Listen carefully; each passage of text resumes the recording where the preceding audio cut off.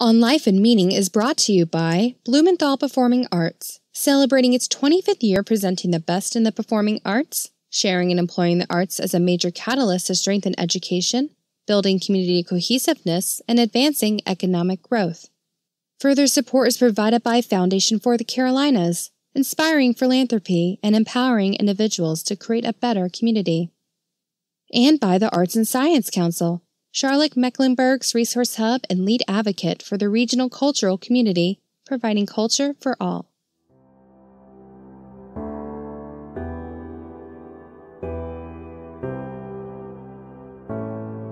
Happiness isn't the absence of trauma, tragedy, and loss. It's really about how we choose to move through it. And a key piece of that is that we are not alone and we need to reach out to others. In fact, it has long been established that having close, authentic connection with others doesn't prevent us from suffering tragedy, loss, or trauma, but it significantly decreases the emotional and physical impact that it has on us. And having done this in my own life and finally making the decision to stop running and stop hiding has been crucial in my personal happiness and also in my recovery from these various traumas.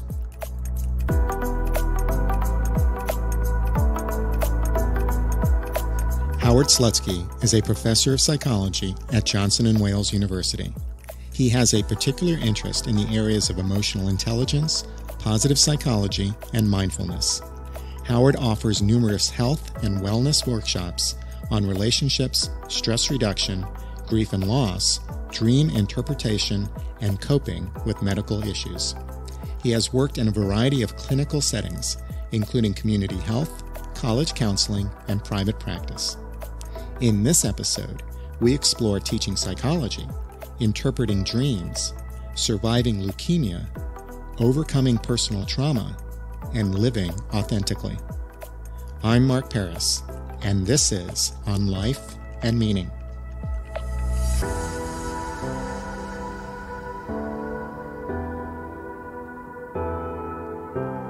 Howard, welcome. Thank you, Mark. Howard, there have been two traumatic events in your life that you've had to confront and overcome, and we will explore each. I'd like to begin with the work that you are doing now that informs how you approach and value life. What is it that you do? I am a full time professor at Johnson Wales University. This is my 13th year teaching, and I also have a clinical practice on the side part time, where I do evaluations for Social Security disability. I've also done some private counseling as well. What classes do you teach? So I was hired to teach introductory psychology, and that's the only required course for a lot of our students. But there was a, a strong positive reaction to that class, so students uh, were requesting additional classes. So we've added social psychology, human sexuality, and abnormal psychology. Howard, your intro to psychology class is so popular on campus. Is there a topic that you particularly enjoy teaching in that class? Absolutely. So I certainly uh, love all the topics. You know, this is my industry, but there are several topics that really captivate students and things that they will remember. One of them is covered in a chapter on neuropsychology and biopsychology, and it looks at an issue called alien hand syndrome and most people haven't heard of this. Uh, however, there's an episode of House that actually uh, covers this extremely well called Both Sides Now. So, this is an issue where someone suffering from uncontrollable seizures has the opportunity or option as a last resort to cut part of their brain, basically cut the bundle of nerves that connects left and right hemispheres and that actually reduces the seizure symptoms, but it now leaves each hemisphere acting independently. So the left side of the body, controlled by the right hemisphere, takes on a life of its own, literally, um, will act independently from our conscious thought. So I actually introduced this topic by demonstrating, without letting the students know that I'm doing so, I look towards the PowerPoint slide and start covering the material, and my left hand starts giving them the finger. And I throw a marker against the wall but all the time unaware that I'm doing this. So the students are captivated, and then I break character and explain to them what's happening, and we discuss the topic further. Funny story, I was being evaluated for promotion, and it so happened that one of the people on the promotion committee without letting me know that he was coming to observe me that day, came to observe. And so he literally observed me for promotion while throwing markers against the wall and giving my middle finger to the students. Howard, what you just shared is an example of how you teach many of your lessons, isn't it? Absolutely. Yeah, I, I think active engagement, we hear that a lot. We have trainings and seminars on engaging students, but what does that actually look like? And for me, shock value, um, captivating students while also providing them information to go along with that really helps the material stay with them and, and really forges a deeper understanding. Howard, why do you think psychology classes are so popular? You know, I feel like I teach the best subject here on campus because no matter what industry people are going into, they absolutely find psychology captivating. And a lot of it is relevant to their personal lives, their relationships, their own emotional struggles. But some of it is just downright fascinating. I hope none of my students ever get alien hand syndrome, but they are never going to forget that topic. So I think it's the course lends itself to that strong interest, but I also think teaching style is important as well. And I, I relate to the students well and really draw their interest and help them feel respected and safe. I really feel that students want to know themselves better. They want to improve their relationships. I think a lot of self, students self diagnose as well. We do cover various uh, disorders. So I think they're very interested in that. And quite honestly, a lot of students gain information from me in a safe environment that they have never heard before, which really helps open their eyes to certain things and resources to help them. And it also depathologizes them and normalizes a lot of things. So, for that reason, I, I know students find my classes very therapeutic, even though I'm not officially or ethically able to do therapy for them. Howard, do you think we can ever know ourselves? Hmm.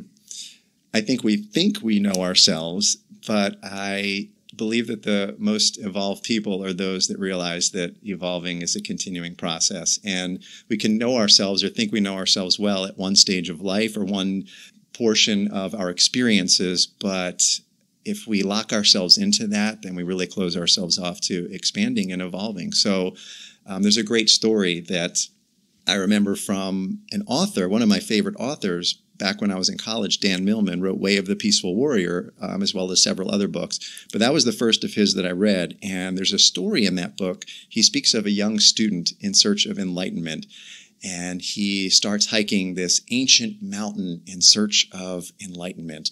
And as he's hiking the mountain, climbing and climbing, he comes across a man, elderly and wise in years, with a sack on his back, hunched over, climbing down the mountain. So the young student thinks this person might have some wisdom to share. So he asks him, Excuse me, sir, you know, you seem wise in years and experience. Could you share with me what is enlightenment? So without saying a word, the man takes the sack off of his back, places it on the ground, and stretches up. And so the young student has an aha moment. He says, I see. Wow. Okay. Well, what happens after enlightenment? The man smiles picks up the bag, puts it back on his back, hunched over, and continues down the mountain. And I think that's a great lesson, certainly one that has been very relevant for me. I think I know myself at various stages, and then either life experiences or just maturation, new relationships, new insights occur that really shift and sometimes completely alter previous worldviews and, and self perceptions. Howard, there are several workshops that you lead on campus as well. What are some of those workshops? Some of my favorites include Mirror Mirror, which is on body image, eating disorders, and self esteem, and it addresses issues for both males and females. I do a workshop called Tipping the Scales, which looks at the psychology and some of the science in nutrition about successful diet, fitness, weight loss. I do one called Stress Busters, which is relevant to everyone, looking at stressors and how to better cope with and manage those stressors and not fuel those stressors, which many of us do.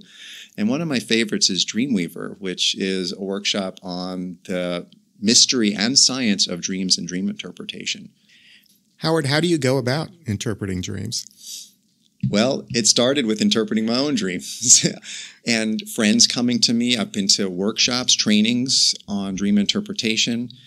And since you ask, during the workshop on Dreamweaver, I actually start the workshop by sharing with students a dream that was presented to me by a potential client. So I received a phone call from a woman, uh, my private practice. She wanted to schedule an appointment Normally, I like to get a little information just to make sure I'm the best fit. So she shared with me that she has been plagued by a recurrent nightmare.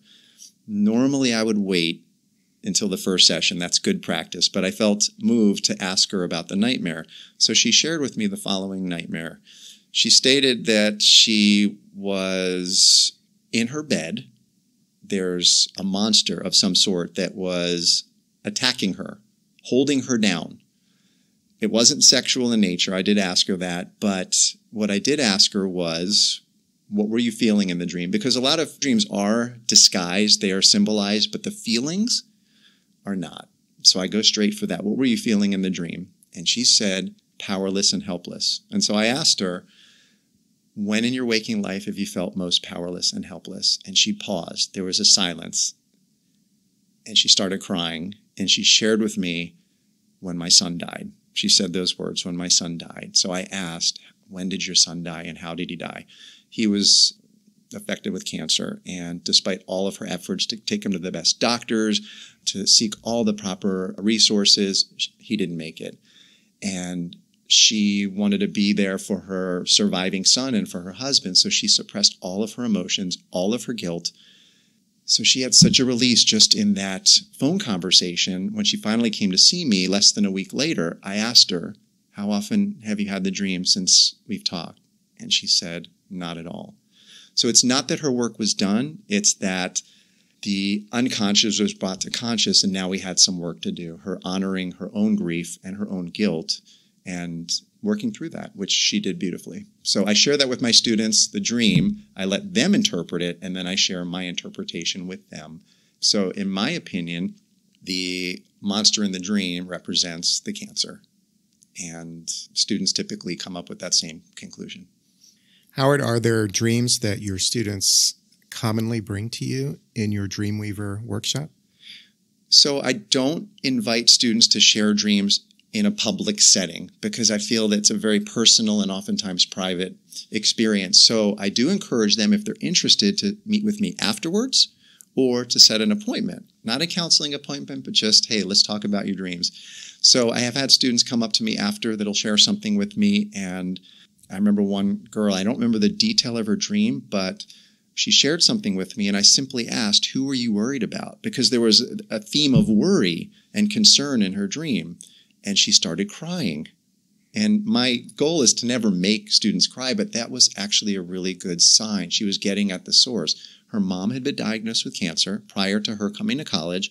The prognosis was excellent. However, she felt really bad leaving her mom. So she suppressed those feelings of guilt and they were coming out in her dream in a symbolized way. I did have a student come to me once and asked if he could uh, share his dream, and he shared with me that he had a dream that he is in his house and someone's shooting through the house and he is diving on top of his family members to bring them to the ground to protect them. What does this dream mean? So I asked him, first and foremost, is that the house you grew up in? He said, yes. I said, are there drive-by shootings in that neighborhood? He said, Yes. I said, Has your house been shot at? He said, Yes. I said, Are you worried about your family? He said, Yes. So he is here safe in his dorm going to college and he's worried about his family. So there was nothing symbolic about that dream. That dream was absolutely reflecting his conscious waking concern. So not every dream is disguised or uh, symbolized. Howard, who are you in the classroom? Hmm. Well, that has changed, certainly. I think when I first started, I was excited but new to teaching. But what I've really come to, to learn is I don't have to be the expert in the, the only expert in the room, I should say. I don't have to have all the answers. I connect with the students. One thing I've very much realized is how important rapport is. It's not just being an expert in your subject and it's not just being well prepared and teaching the material effectively, it is connecting with students, creating a safe and supportive environment. So I am 100% myself. I am in my zone. I love teaching. I could be exhausted emotionally and or physically and teaching lifts me up. So that's who I am in the classroom. Howard students learn material and they often soon forget it when the class is over. What is it that you want your students to remember? a lot does fade, as you said. One of the things I really want students to learn from my class is to be better consumers of research, such as information on and commercials about pharmaceuticals and depression. And depression is uh, caused by a chemical imbalance and seeking out medication. I want students to honor their emotions, to recognize that those emotions are there for a reason, and they usually only get to a toxic or debilitating level when we ignore them or suppress them. So that's one of the biggest things I want them to take away from my class. Also, I really try to model for them just being authentic. I try to model for my male students that being strong doesn't mean putting on a tough act or wearing a suit of armor. In fact, those who wear a suit of armor are scared, and it's real courage to take that suit of armor off. And uh, ironically, it's not just men that put on that suit of armor, women do as well. So that's one big thing I want them to get as well just how important it is to be authentic with themselves and with others. Something else, too, is I, I do want students to look back on their experience in my class, even if they don't remember all of the content, which they won't. I want them to look back on their college experience and to remember me and to remember that class with fondness. And I will tell you, I've had students that have graduated that have invited me to their wedding. I have students that want to stay in touch. I'll have lunch every now and then with students you hear from students, certainly if you're a professor that has moved them in that way. So, hearing from students who want to connect or let you know how they're doing or ask for a letter of reference or just touch base with you, that's really, really moving. So, I hope I am one of those professors for the majority of my students. Howard, let's talk about your life. You grew up in Maryland. Where in Maryland? It was a suburb called Potomac, Maryland, about 45 minutes outside of Washington, D.C. What do you remember about Potomac? Very friendly place to grow up. It was a suburb, single family homes, middle, upper class families, a lot of stay at home moms, but certainly some of them worked. My mom was a stay at home mom. It was a great place to grow up with my sister, two years older than me, and my dad worked full time for the Department of Defense. My mom, as I said, was a stay at home mom, very involved and active in our lives, volunteered at the library at my elementary school. Block parties, park at the top of the street. We adopted a dog when I was nine years old. And so just uh, taking her to the park and playing soccer with neighborhood kids. It was just a really great place to grow up. You referenced your sister, Elisa. What was your relationship with Elisa? Like any siblings, we certainly had our ups and downs and our fights, but we loved each other very much. Such a compassionate heart. I remember there was a baby bird that fell out of a nest when it was very young. It probably had just been hatched. And my sister was devastated. She was crying and took the shovel from our garage and was digging up the earth trying to find worms to feed this baby bird.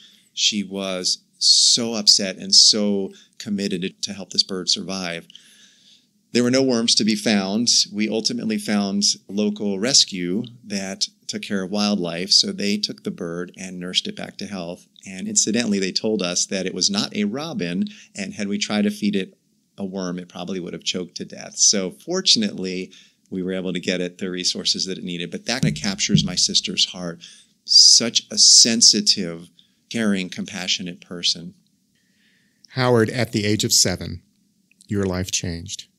What happened? Well, I had been sick with what we just thought was the common cold or chest cold for a week, which led to two weeks, which led to a doctor's appointment and I remember after the appointment, the doctor asked to speak to my mom privately, which had never before happened. After that private meeting, my mom took me to the local hospital where they were running some tests. I remember getting a chest x ray. I remember getting blood work, which I was not happy about because it hurt. And next thing I know, my mom had gotten the results, and I remember walking down a long hallway. The end of that hallway was a row of payphones. My mom was definitely distressed, but she didn't say anything to me. I remember she made a phone call. I was right by her side. She called my dad at work and was sharing something with him that I didn't quite understand. Next thing I know, I was being taken to Children's Hospital in Washington, D.C. by ambulance where my dad met us, and I underwent a bone marrow test and spinal tap. I didn't know what they were called at that point. I just know that it was excruciating and it felt like it lasted forever. apparently, I know this in hindsight, my parents were told that I had acute lymphocytic leukemia and that I had about two months to live. My dad was in complete shock and disbelief, saying, Test him again, maybe it's anemia, but it wasn't. And an intern came to my parents and said, Look, there's enough reason for hope. He's at the right age, the type he has has been successfully treated. We're going to do the best we can for him. Don't give up hope. And of course, they didn't, and I'm here to talk about it today. So I underwent chemotherapy, radiation, and um, a series of bone marrow and spinal taps until I was 12 years old. So it was a long, a long uh, road and definitely traumatic, altered my life in a lot of ways, but I'm here to talk about it today. So I'm grateful. Howard, how did your cancer affect you as a young child? Well, one of the ways it affected me was it showed me that the world isn't safe. It showed me that my parents can't protect me from everything. And it also showed me that people can be really cruel. Kids can be really cruel. I lost my hair as a result of the radiation and chemotherapy, and I was teased a couple of times, once at school and once in my neighborhood. And some people might say, wow, only twice? That's not too bad. But even once is devastating, and it certainly was to me. So I started a pattern back then of hiding and pretending. I never shared with anyone that I was terrified to go out during recess. Instead, I pretended I didn't feel well to avoid going out. And that really started a pattern of pretending that I was okay. But instead, on the inside, I was terrified. And I really withdrew from life in a lot of ways at that point avoiding things that would expose my uh, weaknesses, avoiding things that would trigger my insecurities, but all the time pretending I was okay. And in fact, it was because I did such a good job pretending that my parents never got me any counseling because they thought I was adjusting very well. This was a pattern that was with you through middle school and high school. Yes, this was a pattern that really followed me through middle school, high school, and even college. It wasn't until graduate school that I, I finally uh, started recognizing and truly addressing and altering this pattern. Howard, this pattern of hiding your emotions followed you to college, as you noted. And you hit a wall when you first went to college, didn't you? Yes, yes. Yeah, I went away to, to school. It was less than two hours away from my hometown. All of my friends stayed behind to attend community college. I had a girlfriend at the time, my first serious relationship, and she was back home as well. It was a very toxic relationship.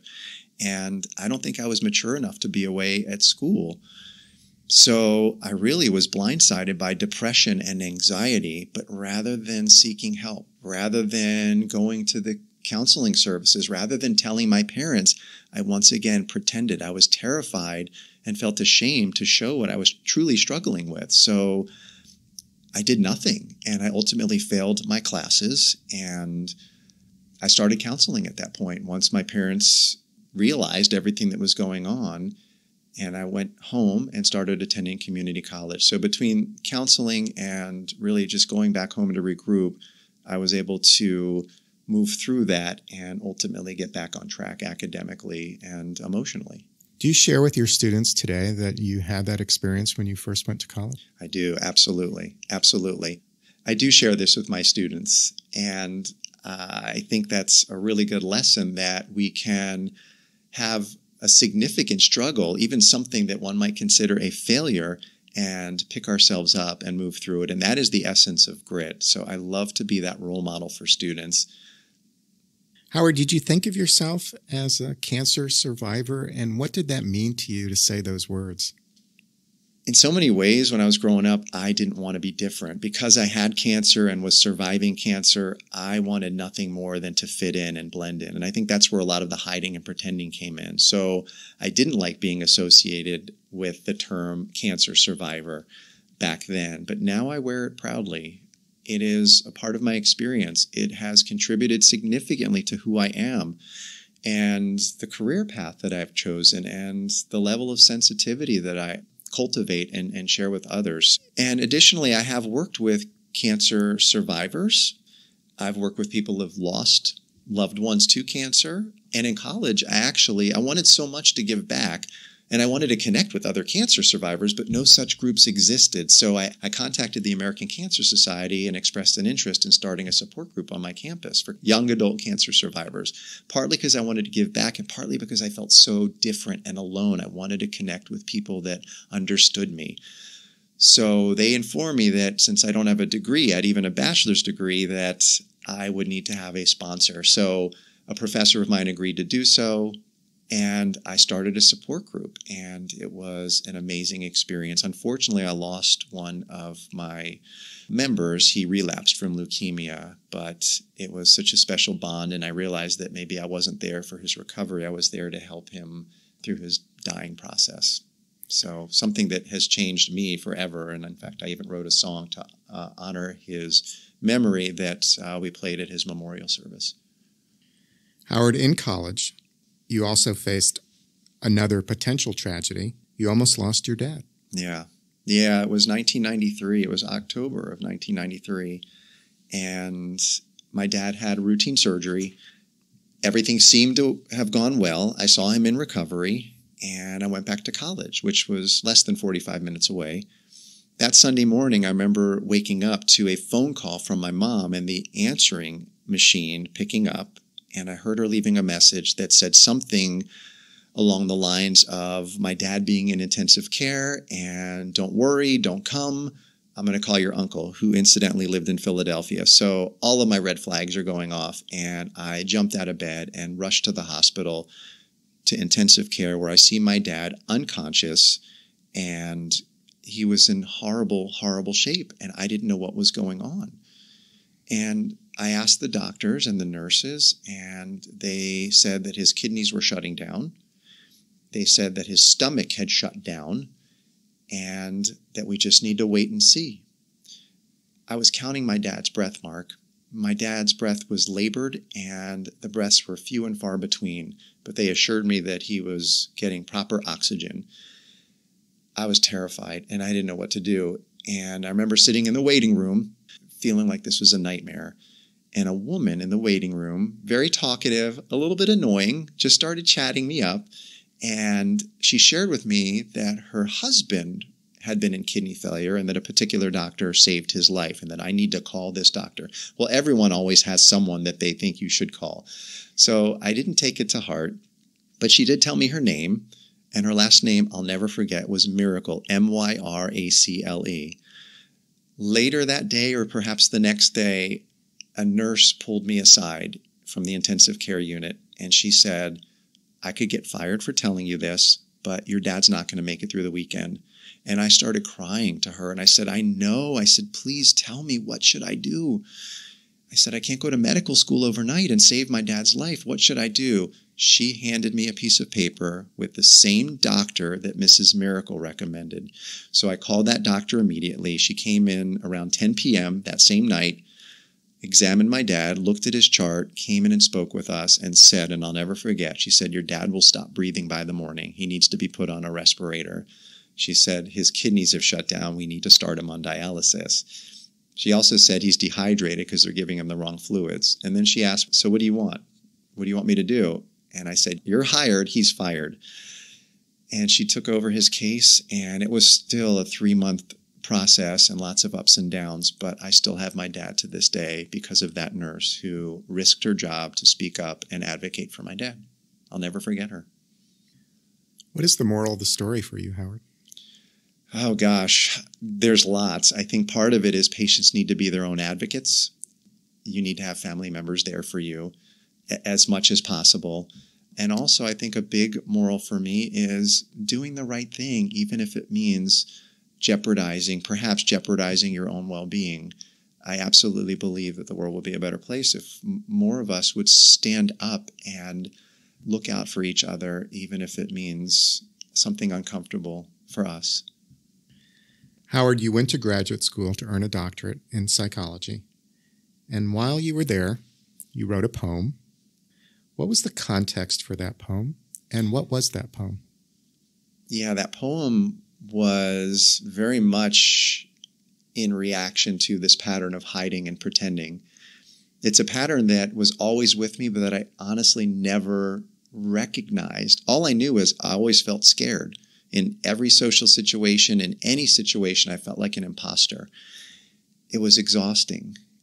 And when I was in graduate school, I found myself surrounded by classmates and friends that were kind and considerate and supportive, which was just so different from what I experienced. I also found myself with a counselor that was wonderful. And I think the timing was right as well. I think all the stars aligned for me to finally take a good look at myself, to recognize this pattern, and to just acknowledge how exhausted I was. So the context for this particular poem, it is about me, but it was prompted by a relationship that I was potentially exploring. And I remember being with this individual and just being extremely nervous. And she saw through my act to try to pretend I was fine. And that prompted the poem. And the poem is called Fallen Angel. Howard, would you mind sharing the poem with us? I'd be honored, Mark. So it's called Fallen Angel. I've gotten really tired of hiding for so long, fooling those around me, pretending to be strong. Running from rejection, that's all I've ever known, longing to be loved, but condemned to be alone. I was not prepared to meet someone like you, the walls I've built around me, you've somehow seen right through. My heart is paralyzed, afraid that you will see the frightened little child that hides inside of me. But as I hold you close, and in each other we confide, I no longer want to run, I no longer want to hide. And the more I get to know you, the more I realize that you've been hiding too, a fallen angel in disguise. What does that poem mean to you, Howard? Oh, that poem is a reminder of how isolating and lonely it is when we are not being our authentic selves, when we are hiding, when we are afraid of judgment, when we play a role in order to gain acceptance and to avoid rejection. We might have lots of friends, we might be high fiving people, we might have lots of activities and social clubs. However, as my poem says, we are condemned to be alone. It's only through being authentic that we can ever truly connect with others. And that means we need to be vulnerable. What that also means is we need to surround ourselves with people that treat us with kindness and respect and that actually love us, not despite our vulnerability and shortcomings, but because of them. And the beauty of that dynamic is those individuals have been hiding too. And when we make the first move, that will give them permission to be vulnerable as well. And there's such a beauty and magic and true connection that happens with that. Howard, how did you find your way to teaching? All of my clinical training was to be a, a therapist. And when I was on my advanced therapy practicum, when I was in Georgia, one of my colleagues was teaching at a community college and asked me if I'd like to come and teach just one section of one lecture on a particular class day. So I thought, sure, why not? So I prepared and he lent me the textbook and I came in there and I just decided rather than standing behind a podium, I decided to just, it was a small class, uh, maybe 15 students. I just sat on the desk, Indian style, and had a conversation with the students about these topics what I remember was the students were captivated and we were connecting and we were discussing and I was sharing. And it went so well that he said, Do you want to just teach the rest of the class? I was hooked. So I didn't pursue teaching at that point. I finished my clinical training and I worked in various clinical settings, including community mental health and private practice. But uh, ultimately decided to teach, and I started teaching part time at a community college, and I absolutely loved it. But I almost felt like I was cheating on my chosen career. I felt like I was copping out by teaching in addition to counseling. But I ultimately worked through that very quickly, actually, and, and realized that they're both important. And for me, the best career is a hybrid of doing both teaching and counseling or clinical assessments, which is what I do now. So I've been teaching here at Johnson & Wales for 13 years and teaching altogether in the industry for probably 16 or 17 years, and I love it. Howard, in 2017, an event occurred that changed your life again. What happened?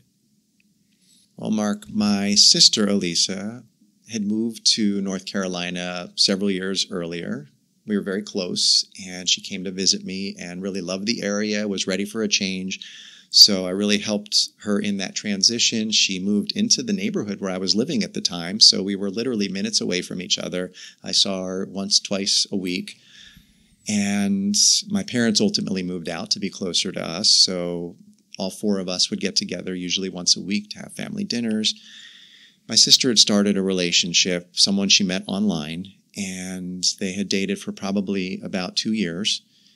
And it was a pretty toxic relationship. I was certainly concerned, but didn't feel like I had a whole lot of influence over my sister's decisions and choices. But I was always there for her, regardless of those choices.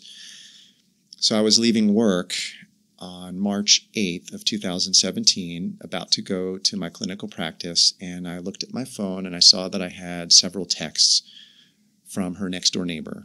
One was from the wife and one was from the husband.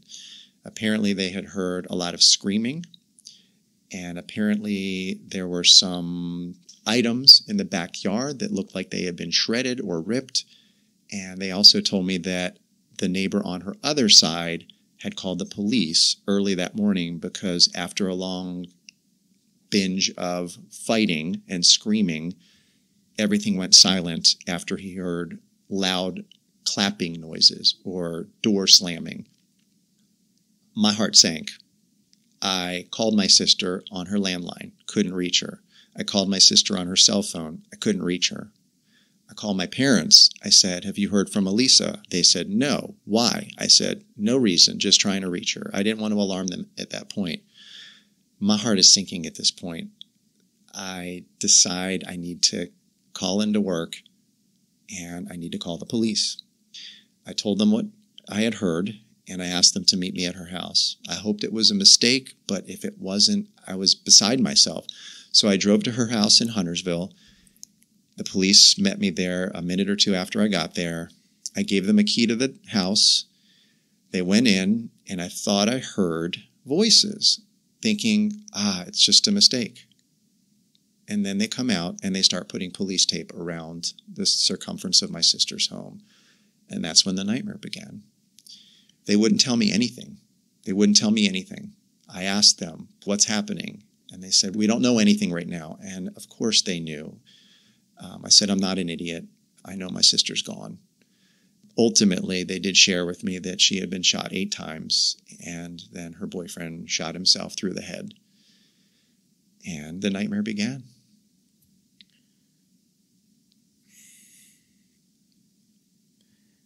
Howard, what happened after you heard the news?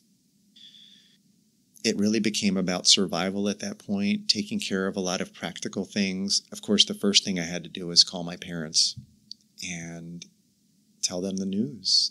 I didn't know how to do that.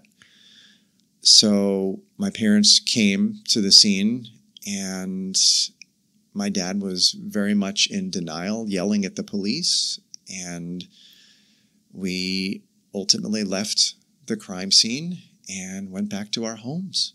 I took my sister's cats with me and really became a process of what next. I was the one in charge of getting a crime scene cleanup crew to her house. I couldn't go in there. I had to buy new clothes for her for her to wear in her final resting place. And that's something a brother should never have to do and a parent should never have to do. So really it was planning the funeral, and picking up the pieces. It took about a year for me to go through all of the things in her house. I didn't want anyone in the house. She was very private, and I wanted to respect that even in death. So I went through the house, decided what to keep, what to sell, and what to donate. And it took about a year before ultimately selling the house. And I did a lot of healing at that house as well because it was like a nightmare and almost as if this can't be real. I'm going to wake up. And going to the house allowed me to connect with the real emotion that the rest of the day and the rest of the time I was avoiding. Howard, the day after this occurred, you went to work. Tell us about going to work the next day. I felt like my reality was crumbling. Nothing made sense. It felt like a nightmare. And I felt like I was drowning. And work was something that was stabilizing, work was something that was grounding. And I felt that work was like a life raft at that time, and it kept me from drowning in this stormy sea of tragedy. There wasn't an absence of emotion while teaching, it was a distraction, but there was something missing. There was a huge hole in my heart and in the world, and that was with me even in the classroom. Where are you now emotionally? I am better than I was when this first happened, but grief is a process. This type of tragedy is still so unbelievable. There is a part of me that still cannot fully believe that this had happened. And that's why at times I hear myself talking about it and I kind of take a step back. I still miss her terribly. I still can't believe that this has happened, but I've certainly done a lot of a lot of healing along the way and counseling has been a huge part of that. Honoring what I'm feeling has been a huge part of that and trying to honor my sister's memory as much as I can has been a huge part of that. My sister was a huge animal lover and a compassionate vegan and so part of what I have done with some of the money from her estate is to visit various farm sanctuaries and donate money in her memory. So that's been a big part of it. Also, exercise was huge in my recovery. In fact, I had just agreed to hike the Grand Canyon with a friend of mine when this tragedy occurred, and I almost canceled. I thought, how on earth can I train for such a huge, enormous undertaking? in the midst of this grief and tragedy. But I decided instead that this was going to be part of my healing. And so a lot of my training, getting out at local mountains here in North Carolina, I would talk my heart out. I would hike my heart out. I talked to my sister. I cried to my sister. I apologized for things that I regretted. And while that didn't heal me or help me transcend my grief, I really believe that it helped me survive. And in part, I hiked the Grand Canyon in her memory. How are your parents doing? I've been a, a big support to them. We've really bonded together through shared grief. And that I believe has helped us to survive. They are in disbelief like I am. They miss her every day my dad in particular has a lot of regrets. He should have done this, he should have done that. And the reality is, he couldn't have done anything. So I think that's part of the grieving process is what if? And I have needed to learn, or I'm in the process of learning to let that go. Because if anyone could have made a difference, it would have been me because of how close we were. But I need to let that go because if you stay in that place too long, you will never, ever heal. Howard, you survived cancer as a child. You lost your sister to a terrible tragedy. What do you say to people who have gone or are going through similar difficulties?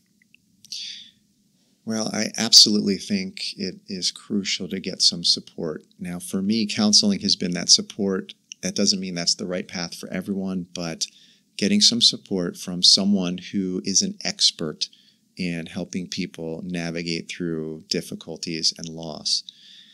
I also think it's really important to let yourself feel. I don't remember who said this phrase, but it is sort of my mantra. The only cure for grief is to grieve. And if we avoid that process, we can't possibly have the opportunity to do any kind of healing what I have found is that a lot of people don't know what to say. So they either don't say anything to us when we've gone through a grief, or they say something that feels insensitive. I've heard things like, everything happens for a reason, or time will heal all wounds. And those things aren't necessarily true. Time doesn't heal all wounds, and I don't believe everything happens for a reason. I believe that the grieving process and healing process is different for everyone. I think there are some common denominators. So, without a doubt, sharing it rather than keeping it inside, seeking help and resources rather than doing it all on your own, and trying to honor the person's memory, telling stories, supporting charities that were close to their heart. Those are huge in moving through the grieving process. Howard, you have a love of animals that you shared with your sister Elisa. Why is the life of animals important to you? I believe all life is important. And for many years, I consumed animal products, dairy, eggs, meat. There is a blissful ignorance that many of us share. And the industries that sell and promote these products are intentional about that. So I started a gradual process of cutting out various uh, products. Red meat was the first, um, but I remember when I was in graduate school preparing chicken breast for for roommates, and as I was handling the flesh, a switch went off in me. I love animals. I don't want to contribute to any animal cruelty, and here I am preparing a meal. So I still fed my roommates. However, I couldn't eat. And it was at that point that I cut out all meat except fish. Ultimately, I cut out fish as well. And more recently, in the last six years, I've learned more about the egg and dairy industries and the horrific, torturous experience that those animals are condemned to. And I could no longer stomach that or support the industries that contribute to that cruelty. So I have not only gone vegan, I have really promoted awareness on campus with guest presenters in my classes, with various field trips. In fact, today I just took a group of nine students to a local farm sanctuary with various animals that have been spared the torture and devastation of the factory farm uh, experience. Howard, what do you know today that you didn't know before these events happened to you? Happiness isn't the absence of trauma, tragedy, and loss. It's really about how we choose to move through it. And a key piece of that is that we are not alone and we need to reach out to others. In fact, it has long been established that having close, authentic connection with others doesn't prevent us from suffering tragedy, loss, or trauma, but it significantly decreases the emotional and physical impact that it has on us. And having done this in my own life and finally making the decision to stop running and stop hiding has been crucial in my personal happiness and also in my recovery from these various traumas. Thank you for your time today, Howard. Thank you so much, Mark.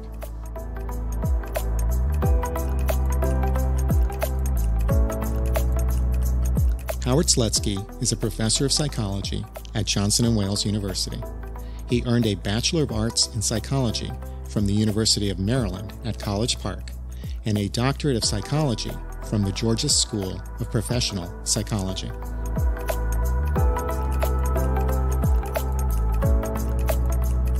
And now, a personal word. Howard Slutzky and I have worked beside each other for a dozen years we have shared what professors at a university share stories about students, what just happened in the classroom, the strange behaviors of administrators.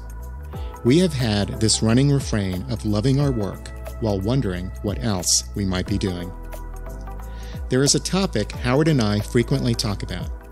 He and I share this dream that sometime in the not too distant future, humans will stop eating animal meat and flesh we will stop eating the bodies of cows, pigs, chicken, and fish. We will stop raising animals in unnatural and inhumane conditions for slaughter. The days of killing billions of sentient animals to feed humans would end.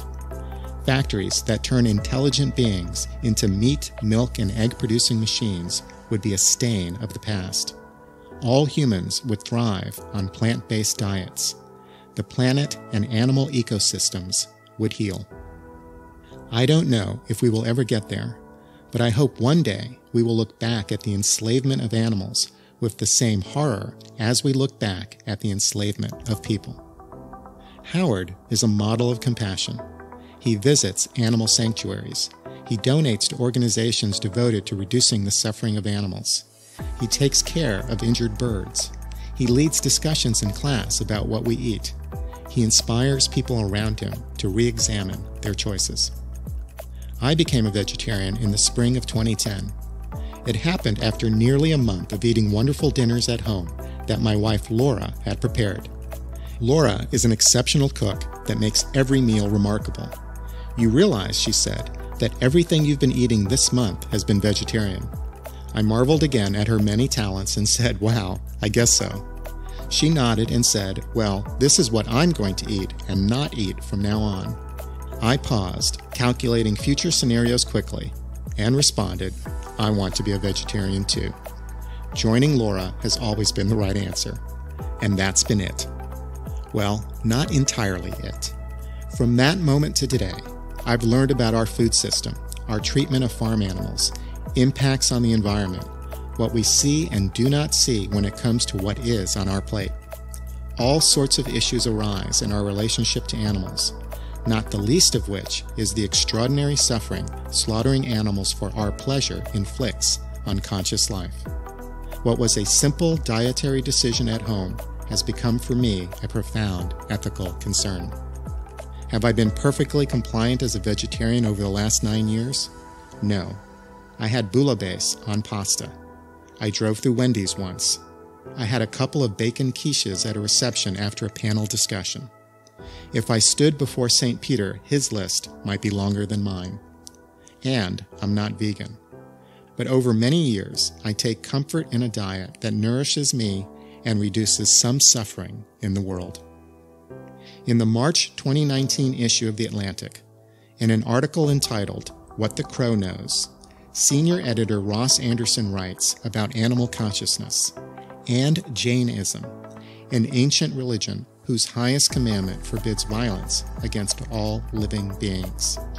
Anderson writes Jains move through the world in this gentle way because they believe animals are conscious beings that experience, in varying degrees, emotions analogous to human desire, fear, pain, sorrow, and joy.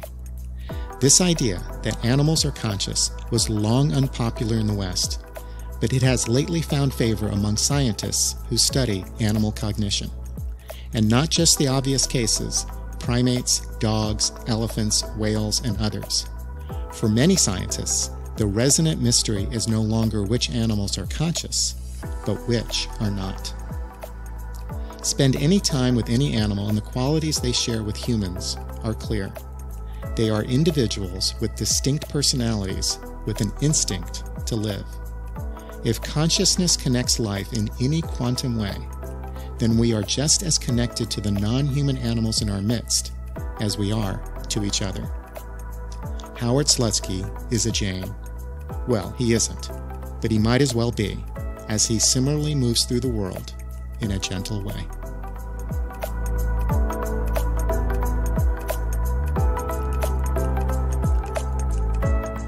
This is Mark Peres, and you've been listening to On Life and Meaning. Additional support for this podcast is provided by the UNC College of Arts and Architecture, celebrating a decade of creative education in the arts and design.